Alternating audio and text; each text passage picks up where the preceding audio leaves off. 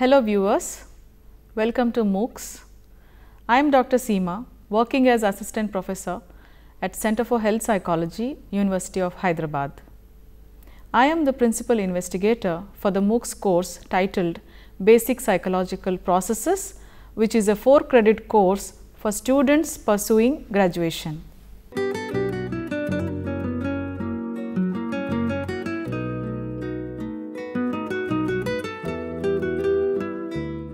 I would like to introduce you an overview of this particular course called Basic Psychological Processes.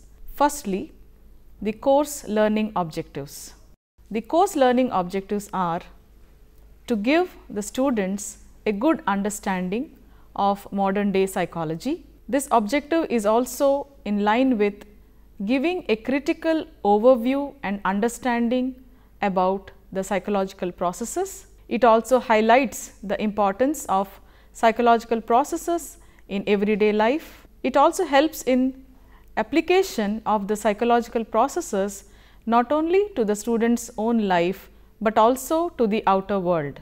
A brief description of the course. This course addresses the needs of beginners in psychology. It also meets the needs of students of various other social sciences like education, nursing, social work, sociology, anthropology, physiotherapy, management, law and other courses which require a basic grounding in psychology. The topics covered are introduction, biological basis of behavior, sensory and perceptual processes, learning, memory and forgetting, motivation and emotion, thinking and reasoning, states of consciousness, personality and intelligence. It has a continuity of existing classic theories and studies which forms the basis in this particular course. It contains review materials, assignments, case studies, practice questions to help you understand and remember the concepts in detail.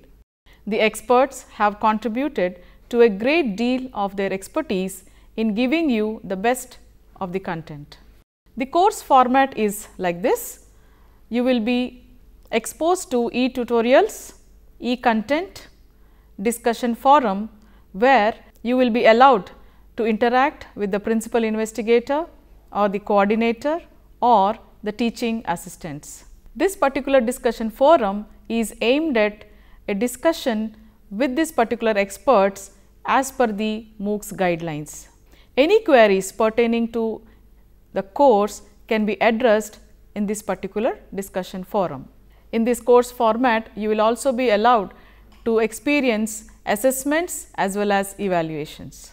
The course assessment will be in terms of multiple choice questions, in terms of assessments based on assignments and interaction in the discussion forums. After final examinations, certificates will be issued to the students who qualify the course as per the MOOCs guidelines. I hope that this course will enrich the learners in understanding the significance of basic psychological processes that plays a major role in our lives. I wish that the students will gain an in-depth understanding and knowledge in applying the principles of basic psychological processes in their respective subject domains. Thank you.